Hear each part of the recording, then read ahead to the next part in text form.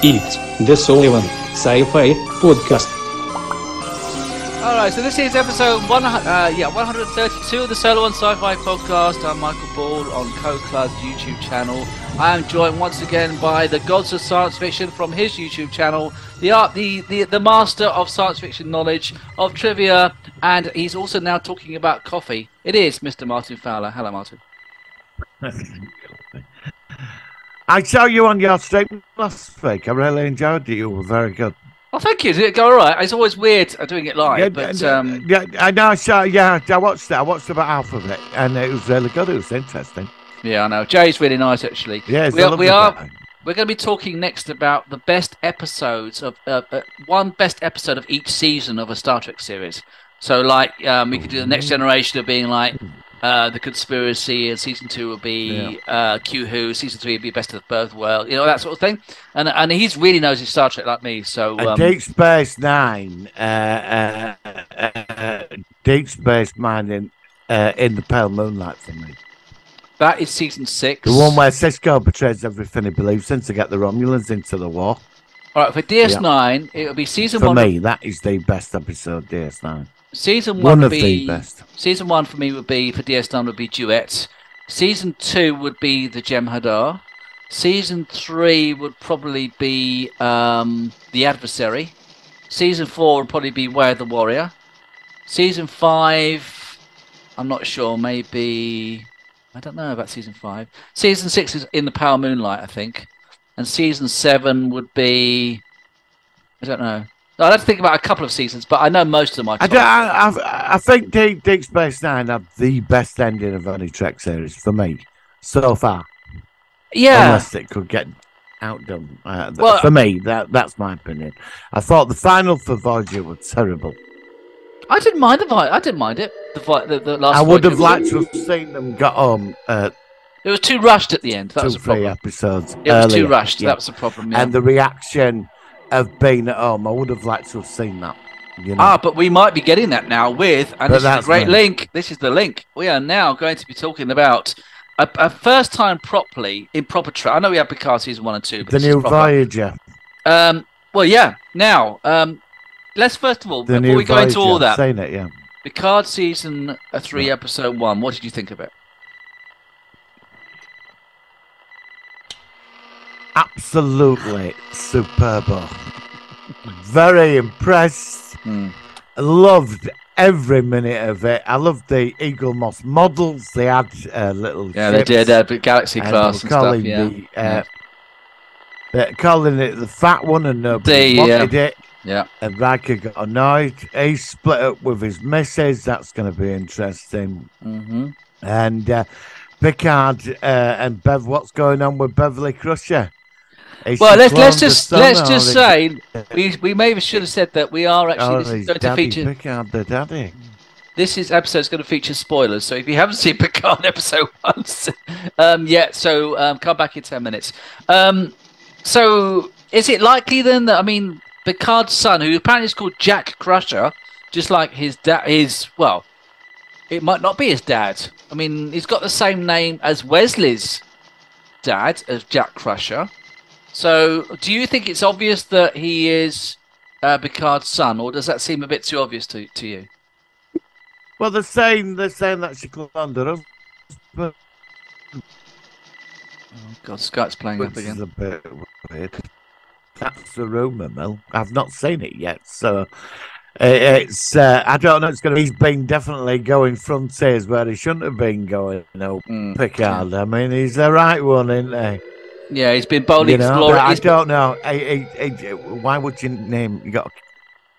Yeah, go on, go. on. He's been boldly exploring been places. boldly he yeah, yeah, were yeah. Sorry, can I just say Skype is really shit today? So uh, Well, yeah, well, it go on. is. It's always bloody shit. Is Skype. I know. No, I mean, it, interesting. I didn't know she disowned them all from twenty years ago. Yeah, because that would have been quite soon after Nemesis, wouldn't it? So Yeah, um, so something happened. What made Nemesis. her cut herself off from her like family? Mm. I mean, these people would die for each other if it came to it. They'd run, you know, what they've all been through and experienced. I was surprised at that. Um, I think one and, thing- uh, it's made it more intriguing. I think one thing that I found which is really interesting is that for the first time since probably 2005, one of the main stars of this series is the ship. Now, I I saw. I mean, this series, see, episode one. Apparently, episode one is the weakest of the season, which is amazing to even think that. Really? Yeah, apparently it's the weakest of the lot. When we saw the Titan and it was back to Star Trek Three, we saw Space Dock updated. We saw and the and the music was fantastic. It was Oh, yeah. wonderful, and I thought Star Trek has finally come home after 20 years away. It's a bit like Voyager. It's been like stuck in the Delta Quadrant in, in reality, and it's finally come home. And um, I I just thought the whole production was just fantastic. I couldn't believe how good it was. Well, why couldn't they write Uh, this five years ago? What, what, I've had It's through Star Trek because Discovery. I've Terry had to sit through Metalis. Terry Matalas knows know. Star sorry, Trek. uh, yeah. Now you He's see, Star Trek fan. Star. You see now, um, Star Wars has Jon Favreau, Favreau- and Dave Filoni, Yeah, yeah, but they're big Star Wars fans, and that's why the and they know the is so fan good. base. They know Now- the feeling of it. Terry Matalas is going to go far. I'm sorry, he knows Star Trek. He he he was he actually worked on Enterprise, um, and apparently you see him in the last episode of Enterprise on the Enterprise D as a crewman, apparently, which I've not seen, but I'm going to look out for him next time. Um, he just gets it. I, I don't know. It's weird. If you don't get Star Trek, how on earth do you recreate it? That's why it's gone so wrong until now. They have not understood it. Terry Matalas, as soon as he's come, he worked. He, he did episode one of season two, best episode of season two of Picard, with the Yeah, Stargaze and yeah, everything. definitely. and then it got definitely, taken over some other people. And Then it got messed up again. Right? I know it's early, but when I saw even Doomcock, who I, I'm not a big fan of because I think he's a hater. No, I'm not. Even he was singing its praises. Every single hater, practically, uh, who's got the actual um, advanced screenings of seeing the whole season, they have all loved it. They Yeah, a lot of uh, a lot of YouTube commentators that have been really kicking the shit out of a lot of Marvel movies, and Yeah. uh, for whatever they, you know, I'm not going to attack anybody. They they might have a point about some what they're coming out with, but it's uh, even they have been saying uh, it, the, the- they have said it's episode one, but they've even sort of been impressed by it. Oh, so it I mean, uh, you know, it goes to show one episode, and it's changing. Well, it is only episode one. Hmm. Yeah, you know, I've set a line for this. You know, I, and Only because a lot, yeah, because of previous seasons. I know exactly where I've set going. it till episode five. Do I walk or stay? You'll stay whatever happens. I know I will, but I just wanted to sound like good when I said that. And I just I know I will. I just burst your balloon though with my reply. um, yeah, I'm, I'm pretty, I'm pretty confident. I'm pretty Yeah, I confident. Yeah. So, um, Did Terry Matalas do Strange New Worlds? no, no, I don't think he did. Well, it's amazing outwriting for that. So good, isn't it?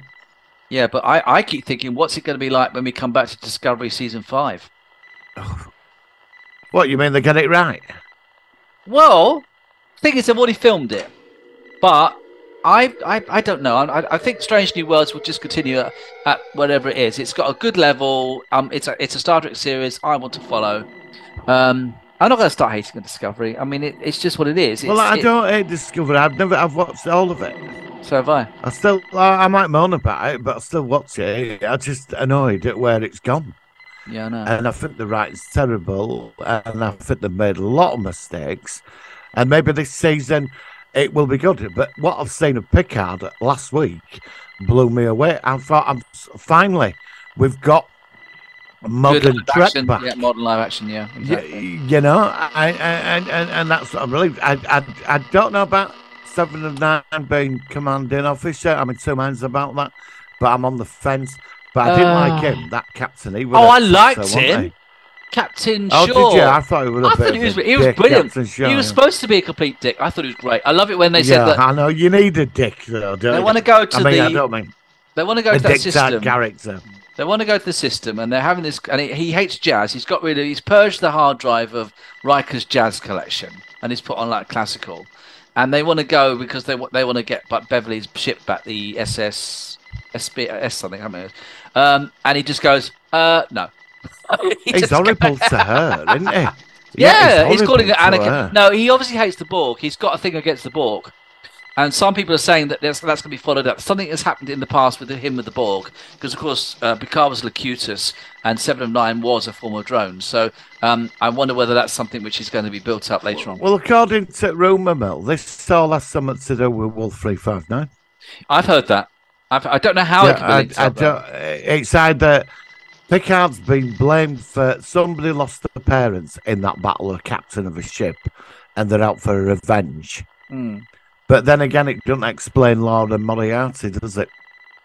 Well, I've, d- I've no idea what the Lore and Moriarty link is at all. I don't know where that's coming from. no, that's what Um, I mean. So it does undo the Wolf three five nine a bit. But I did see the ship at the end of last week. What a beautiful ship that. Uh, the, Oh, the strike, what they the strike. the strike, the strike. Yeah, Very beautiful cool design. ship. Yeah. Uh, I watched the. I, I did watch the sidetrack video. We were going on about it being Borg technology and. Uh, It- it's, it's like possible. It's, It's possible. possible. It did look very sort of, but it reminded me of. Do you remember? I, I, God forbid, I'm going to bring it up. You remember the Kelvin universe? Do you remember the uh, Narada, Bob- the Narada, Bob- the Narada, Nar- the It Narada, reminded me yes. of that a bit. It reminded me slightly of the um, what's the ship? Nemesis in- as well. Nemesis, the Nemesis Yeah. Romulan ship, the Like a um, mixture. Reman of ship. Yeah. Yeah, yeah, yeah. It- uh, like a mixture of the Narada and the Reman thing. Well, you know that the, the, the the actual Narada actually had some Borg technology mixed in with it, apparently. It did, yeah, it did, yeah. So, uh, right, yeah, it did. Yeah. So because don't forget the Narada came from our universe. So um, I like that kind of thing. That some of the elements now of the Kelvin universe did come from like the, the when the Romulus got destroyed in Star Trek 2009. That's been followed up in Picard because it it Well- was. You know what I mean? I like that. I think that's quite clever. A quick run through. I, I bought the official graphic graphic prequel novel before the Oh, film. okay. Yeah, and it's on. Well, they've changed it all now. In it, Data was this was meant to be canon, but it, obviously, Data was the captain of the Enterprise, Right. and Picard uh, was he was an ambassador. Of course, they've undone all this. Hmm. And uh, then, well, let's cut it short. The Narada is turn, returning back to Romulus, and it Oh, seeks destruction. He goes off. He knows something of a secret cloak Romulan base that are experimenting with Borg technology, and all the Romulan leadership's hiding there, and he hmm. kills them all, Oh. and and refits the ship, and then obviously that's how you get the film. That was in the ground, but that's been undone now. So Right, just okay. thought I'd get that. Well, across. whatever whatever it is, I'm I'm very optimistic about Star Trek this year. I'm like I said, I know that they have got the animated stuff, which I'm just not into. I, I, I just can't get I, into. I, do you know? I, I've still not watched the uh, Prodigy.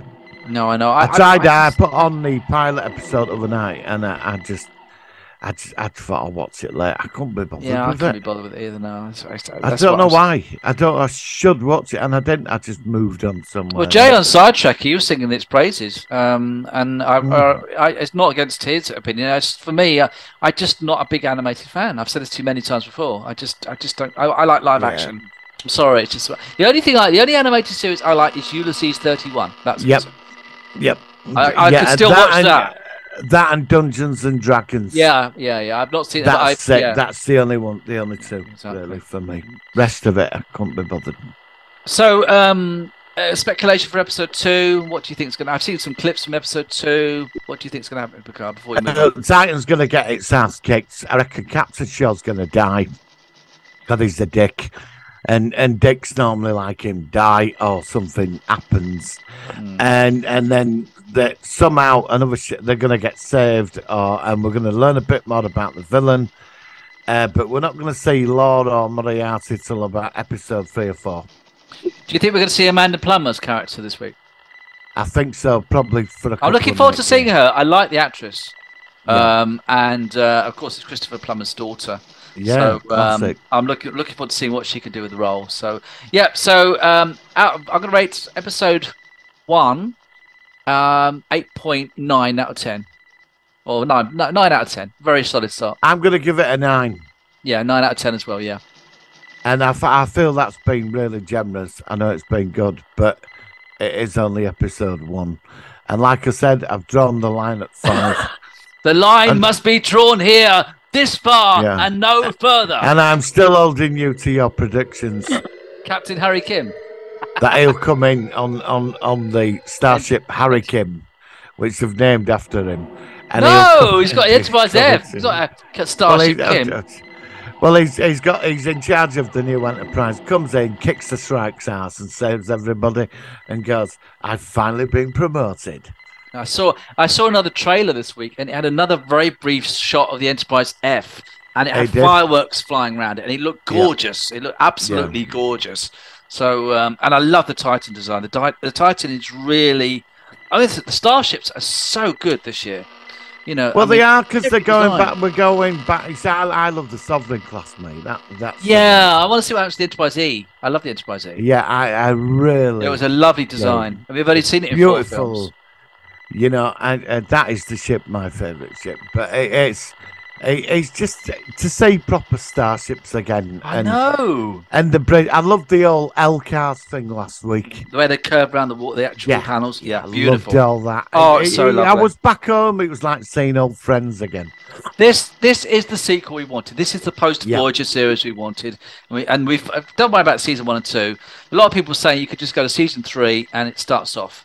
And I know this is partly because they managed to persuade Patrick Stewart to do what they wanted, like, rather than just being. This is, I think half the failings with Picard season one and two is because Picard only agreed to come back if he took control and he had his ideas of what he wanted the show to be, i.e., focusing on him and not a Star Trek re- uh, season eight Next Generation. but this season Yeah. they managed to get him round, and now we finally got we're after the whole time. Do you do you think the character of Captain Picard could pull a series on his own? Well, this is what he's tr- strong enough to hold? No. I know he's done two, but um, do you think it's better when it's all mixed in with the yeah, seven? well, yeah, because season one and two was that attempt for him to pull a series on his own, it didn't work, did it? and I don't think it quite work. works. And it's it's partly partly because no fault of Patrick Stewart, but he's a lot older now, um, and also I think that um, for his character, he needs those. I, I know they tried to have these new characters like Raffi and the others, um, but a lot I of like Raffi. I, don't mind Raffi. I actually don't. Do you know what? I was watching season two again, and actually, most of the characters are actually. Now I've got used to them. They're actually all right. It, it's, Yeah, what, it's- is Elf Boy dead? Elnor was on the. No, he got um, uh, Q sort of like made him back, bring him back to life. and He was on Excelsior. The new Oh, when he Excelsior. all that timeline. Yeah, and at the end when Q said, "I've got a present," and he clicked his fingers because the um, what's the guy that stayed behind? I can't remember his name. With R. Oh, Rios. Rios. Because he stayed behind, it meant that he had more energy, so that they could bring um, Raffi back or something. Oh no, um, um oh, Elnor. Elnor. Right then. Okay. So, um, yeah. So is he in this? I, I- I'll tell you one thing. First of all, one of the speculations of somebody, um, I know that a character you've already talked about, you think's going to die early. They're not going to die early, apparently. As far as I know, Oh, um, as far as I know, the the only character is Raffi. None of the others are coming back this season. Um, but you never know. They do lie. Sometimes you get surprises. Um, but I want to know about Jack Crusher and what he's about. How come Beverly's got a son who's got an English accent, by the way, uh, which is a bit strange. I mean, so we need to know who um, who the father of the cap of Jack Crusher is, which I think will be interesting. Um, I just can't wait to see episode two. It's been it's been a long week waiting for episode two. I've been waiting and waiting all week, and it's just it's just too long. I, I just it's a series I just want to binge. I want to watch the whole thing all day Yeah. For ten hours and literally just. Yeah, no, I do. I, I we're going to sit back for 10 weeks and, and like. Oh no, you on. can't wait for that. No, you'll get all the No. spoilers anyway. It's like the Mando. I can't sit back. No, I can't wait for on that. No, I can't wait that. That's just, just too big. Anyway, um, so that's a solid start. Let's hope it continues, and um, yeah, let's see how it goes. Um, do you want to focus on any other news before we go into our focus of the week? Any- No, no, no, nothing this week. Nothing No, of. Uh, oh, so Ant Man. Oh, I heard it was terrible. Uh, it, it's.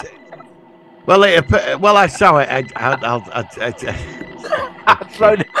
I love it. go on. uh, imagine a film, right? Yes. Right. Before we, I'll, we'll finish this very quickly. But Okay, imagine a on. film, right, where you've got an Omega class supervillain that's massive, right? Mm. Right. And then, it, so you expect to take down this like universal interstellar menace, right? It's going to take a team of hard hitting Avengers of heavy guns, which Right. in com- it would take at least a whole team of them to bring this guy down. And now imagine a film, right? Imagine a film without the Avengers in it, but should have been in it. That is like you've got Oh, Ant Man so- and Wasp, I- but it, it's an Avengers mo- level movie without the Avengers. The non-Avenger. Ant Man, Ant Man would not stand a chance against this guy. He would just, he just annihilate him in about a. So should this movie have been called Ant Man and the Non-Avengers? yes, Okay. yes. I mean, the guy that played Kang the Conqueror. I, I know they're opening it up to the bigger picture, but there should have been some Avengers in this film. And and and, I sat. It was just. It was like. It was like uh, they just got it wrong. It was a film without the Avengers, and and it just didn't work. But the film itself is not bad. Okay. It- it's really confusing because I'm sort of going back on one and it was good to see the villain live action.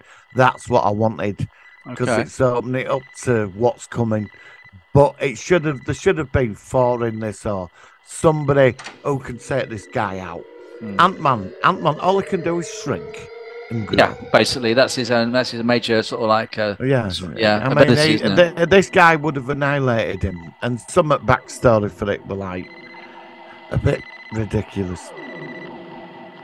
because uh, this can guy, he, he gets trapped in, in quantum realm, and he's from the like 30th century, but has 40th century technology, and it's all time travel and variants. okay. Yeah, he can't. He can't figure. So, like, Michael Douglas's wife, she shrinks his power source when she was in quantum realm, oh, and okay. he, he yeah. and he ain't been what? So he's got technology nearly two thousand years ahead Is of us, um is Michael and he Douglas can't undo that. is Michael Douglas in this film? Yeah, they're all in it. Yeah, Oh, okay. Ant-Man- it's like the Ant family. They're So all they're all for the other. Okay, so at least they're all back again. yeah. I mean, it's not bad. It's just that it, it's it would have been better to have had a full scale, at least three or four superheroes in this film. You know, not Ant Man. You know, it's it's so so like anyway. That's it. It's it's half shit and half good. All right, so it's it's on the fence shit basically, rather than on his shoe. Yeah, I like that. It's on the fence shit. Yeah, yeah, yeah. All right, Martin. On that note, shall we go into our focus of the week? Yes. yes. All right, here we go. It's the Solar Sci-Fi. focus of the week.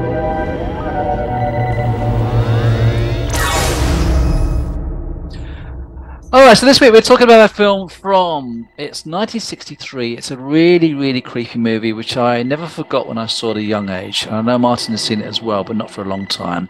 Um, it is a film uh, script by Ray Russell and um, Russell Dillon, and it stars Ray Millard as a scientist who develops a method to extend his range of vision, and that is called the film is Right, called it's Ray Milland, not Milland. oh Milan, Yeah. whatever it is. Sorry, Yeah, my bad. yeah. Anyway, him. He stars in a film called X, the Man with the X-Ray Eyes, Yes, um, yes. which yes. is one fucking creepy movie. Uh, So, it's a weird bloody film. tell me what you think about it. Then, I mean, obviously we said it's weird, but can we elaborate why it's weird? What What's weird about it, first of all? I saw this as a kid. Right. I was I, I. I was a kid. I was at home. It, it, it, this were on when BBC was showing uh, like a selection of sci-fi films, and then I caught up with it in me years later on Moviedrome Right. on a double bill. And Alex Cox. And now I didn't know this was done by Roger Corman, the guy that did Battle Beyond the Stars. I, Ah, I wouldn't have thought. Yeah, the director is very Roger different. Corman. Okay, I didn't know that either. Okay. Totally different. The style of this film, Hmm. And it he must have been young Roger Corman because I mean he's. He, I'm not. I love Roger Corman because he makes some awful movies, but that's why it's so good. But I didn't know till this morning that he Directed directed this. Oh, I was really surprised. I saw it as a kid, and it starts off as quite a nice film. Yeah, quite innocent, ordinary uh, film. Yeah, when like- yeah. he injects the drops into his eyes, he's doing what's right, Hmm. and then the crazy shit starts, and the goggles, and and and, and he can't even close his eyes anymore because he sees. You're going to see through. everything. Yeah, exactly. That's what made it so. But he is warned to stop I think. doing what you're doing. But he kills that guy and he does a runner Yeah. to the casino. hmm and and there's the gambling thing, and he throws the money up in the air, and he ends up at that.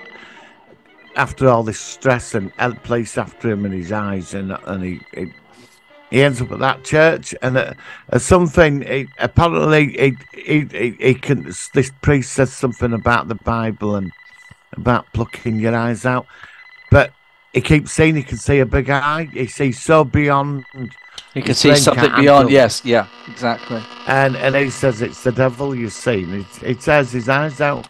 Yeah. Exactly. But what I read on Wikipedia this morning, uh, there was well, Roger Corman's denied it, but another ending to this was that it was rumored that when he did rip his eyes out, he's still seeing stuff.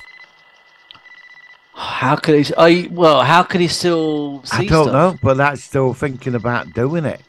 And let me just, well, that's my opinion. It scared when I saw his eyes as a kid from the black and gold, freaked me out, and it. Yeah, terrified me. Yeah. me, Yeah. Yeah.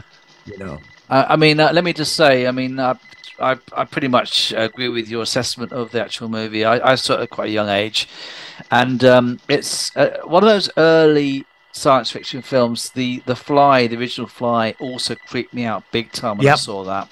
Um, and this had a very similar effect. It was the last scene, the actual twist at the end, and this this film was was clever because as you say, it started off as just like a generic sort of science fiction film with this guy, and he and he he wants to he finds the ability to see through things. He's cu- curious about what we can't perceive and what we can't see, which is what this is all about. Which is another clever thing. Um, and as you say, it's he, he spirals down to man, and I think that his ability is actually giving him brain damage. I, I think that's part of the factor. I think that I think one of the aspects of this movie is that his ability to see is so incredible in, and so incomprehensible that um, the brain just literally starts to um, go wrong and he starts to he starts to deteriorate. And I think that's a clever twist. But I think that really the scariest thing about it was just that it was as you say it was when he had black eyes with gold pupils and at the end when he rip, he pulls his eyes out. But I think a lot, what a lot, a lot of creepy stuff was first of all it had this really creepy sort of background sort of music with the scenes where he's looking, this creepy um, sound effects and things, and you keep seeing um, him his perception of like you see Las Vegas. And it looks like the, the, the buildings aren't quite fully constructed because he's seeing the actual um, the actual uh, building area. You know, but how what they call the steel uh, parts uh, of the buil- infrastructure. infrastructure. That's the word I am trying to think of. And he was seeing all that, um, and how. Um, I mean, I don't know what he's trying to do at one point. It- It's when he's hiding in that um, circus place. Isn't he trying to make money? But what's he trying to make money for? I can't even. I can't remember what he's trying to make money. Well, he's. Yeah, I think he's trying to like he's pretending he's sort of telepathic and stuff. You know. yeah, but I he's doing it for financial gain, though, isn't he? Yeah, because he's on the run because he puts that. Oh, so he's just doing there. it just to sort of sustain himself. Yeah, but it's get his conditions getting worse uh, because I think somebody at circus figures out that he's not pretending. He's actually he's got this ability. Yeah. His problem is is that what I read on, on the clips I've watched. It's quite interesting this film because it is about so beyond its time and it's Mm. in such a weird way because he's not just seeing X-rays. He's starting to see like other spectrums of the light spectrum what we can't see, and Yeah. he, and his brain can't, Can't handle it. That's that's the whole it's not thing. designed for that. Yeah. You know, so he's open. It's like he's opened up like to another universe of things, and he keeps going. I I mean, he says sees this thing like at the end of the universe, this like like an eyeball looking back at him. Mm. You know, which I found interesting. I mean, that vicar guy said that really. He said it's the devil, but is it? Is he? Is he? Is there something else he's seen? Maybe gone maybe so it's um. I mean, I, I thought of it more, but potentially as more of a like a religious factor that he's seeing like the creator of the universe or something. Yeah, yeah, it's that thing, yeah. And, and and and that's what I find interesting. Now, uh, could you remake this? It'd No. be interesting. I, don't know. I'd love to see an attempt at a remake. It'd I be think I, I was certainly interested. I think it's definitely. I'm surprised it hasn't actually gone down that route. Um, in a, it has to be a good dark movie. It has to be dark because this gets Yeah, dark. I mean, this this starts off as That's he's like a normal dude. He's the genius. There's that bit where he's in that nightclub dancing, dancing and he's seeing the girls. Yeah, yeah, well, yeah. and and you know you see fun side of it all, and and and then suddenly this film, it just it's like two films in one in a weird sort of way. Yeah, yeah. It, it just suddenly goes down this other insane path. Mm. Do, do you know what I mean? It's I mean, very forget- strange. It's very slow transits to from one state to the end. By the end of the the actual movie, it is very very different from when it starts for the first. Oh 10 yeah, minutes. I, I mean you can say it's like you said, uh, like the, a great metaphor. is like the Fly One, Hmm. the original. I get like we we covered that film, and I know remakes, but the first one, that scene where he's in that. Actually, we haven't. We haven't covered the first one. I thought we did. No, we've Oh, done the remake. the- Oh, the that's that. Put it on the list. Put that on the Yep, list. yep. After I did the fly. But that scene where he's going, "Help me, help me," you know that is that so. scared the living that. shit yeah, out of me. Shit me. Oh my so much.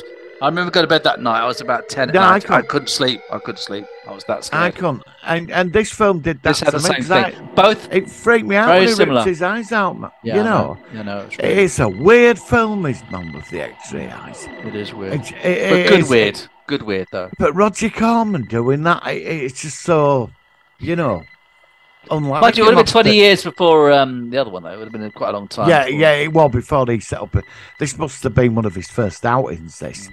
But to do that, it, it, it's the film stands out. It, it, it's a classic. It, it's, it's a freaky I'm, film. I didn't realise until we started talking today that why it's never had a remake. Because Well, I, I, I, I just don't know. And I don't know why it hasn't had a remake because I think that I, I think it's a clever enough concept um, for it to be really done well. It could be, re- especially with updated special effects, and they could have done it. They could do it really good. So I, I think that's definitely a movie that could that could be done. It's definitely they'd have to if they remade that today. mm, They'd have to go beyond. It, it, it'd have to be. It'd, it'd have to go into. It'd be more scientifically plausible. It'd be going into all the light spectrums and going beyond it. yeah. Like he can look into another universe or something. But they where- could do a multiverse thing. There could be that he's seeing Yeah. different realities or something. And he's or, seeing you know. things at the molecular level and Yeah, beyond that. And and, and maybe something that in our science at the moment we just can't detect, but his eyes detect Yeah. something beyond what we know. It could Yeah. be really interesting.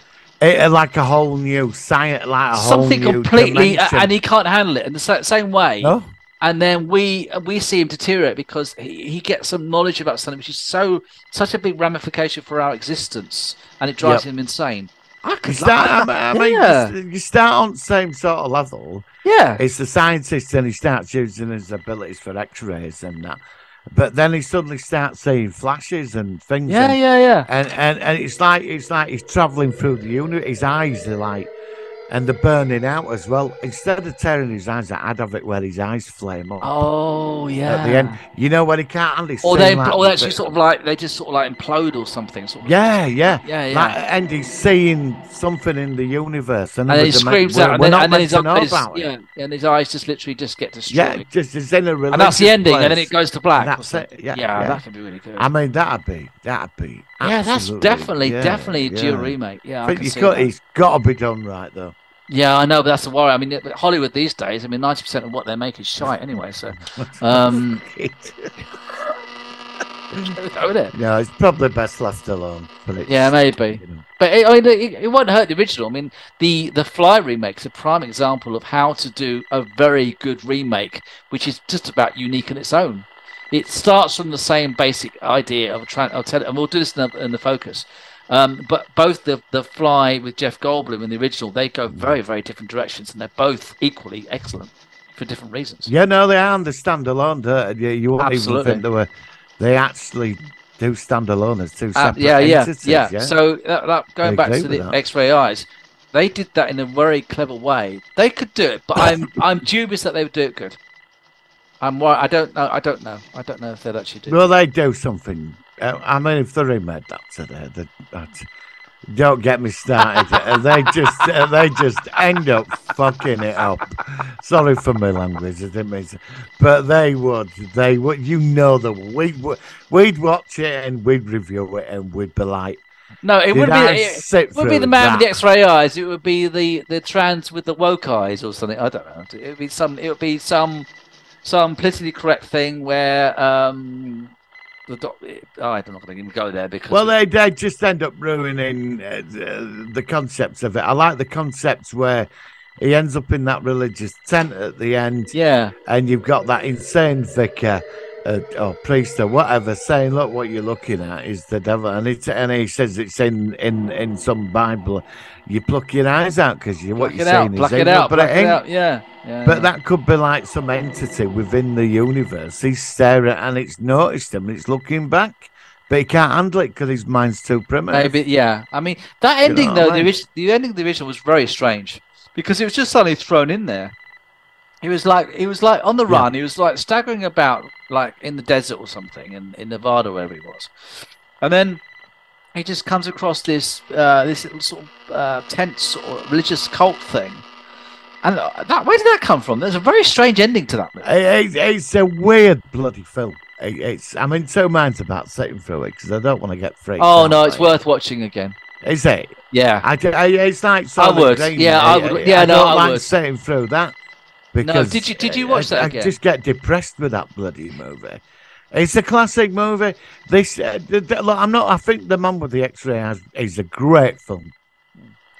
But I think yeah, if you if you you've got to prepare yourself for this, because how it starts off it is such a positive film, and then it just somewhere in this film it goes into another direction, and that ending, that ending, it, it does it work? Uh, it freaked me out. I, I think it would now. I think it, it, it's an interesting film. It, it put it this way, it's once a debate. It is. It's the stroke of genius. Is that movie? I think it still stands up well. I mean, obviously it looks Oh, definitely. It's a great story. It's a Oh, great. God, it's yeah, the story stands alone. You could have put this story in like an Outer Limits episode, or Yeah, yeah, yeah. Definitely in Outer Limits. It, it would have been Absolutely, like a really absolutely. good written Outer Limits. It would have been a really good Twilight story. Yeah, absolutely. Couldn't agree more with that one. yeah. Really worked. That Yeah. would really have worked. Um, yeah. So um, yeah. I mean, I don't think there's anything much else to say about it. Really, it's certainly a good film. I'll just see if there's anything else about it. Um, cast production. Let's just see the reception. Um, let's just say at, at the film, the, the reviews aggregator website Rotten Tomatoes, the film holds an approval rating of 88% based on 25 Wow. reviews, with a weighted average rating of 6.6 out of 10. Well, that's not so good, but that's you know it's an old film. The site's critical consensus, consensus reads by tur- um, by turns lurid and disturbing. The Man with the X-ray Eyes is a compelling piece of sci-fi pulp and one of Roger Hmm. Corman's most effective movies. It's not sci-fi pulp. It's it's a good sci-fi concept. It's a clever idea, um, and I think it's a very very strong series. So of, I- of movie. I, I- I'm looking at the production now, and it says, uh, uh, "Hang on." In in in his dance, uh, in his non-fiction bu- book, Danse Macabre, Stephen King, King claims that the rumours, the the ending originally went further with Miliband, Milan, crying Miliband, Milan, You're getting crying, out- crying out, crying out. I can still after.